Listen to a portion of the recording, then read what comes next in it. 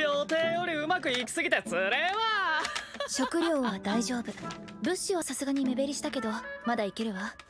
ここまで前線しているおかげでうちの兵士たちの士気も高いままよ。それに比べてマーデンの方は攻め手もだいぶ緩んできているわね。このまま撤退するのかしら？それはねえよだがおそらくあと半月でこの籠城生活とはおさらばだ。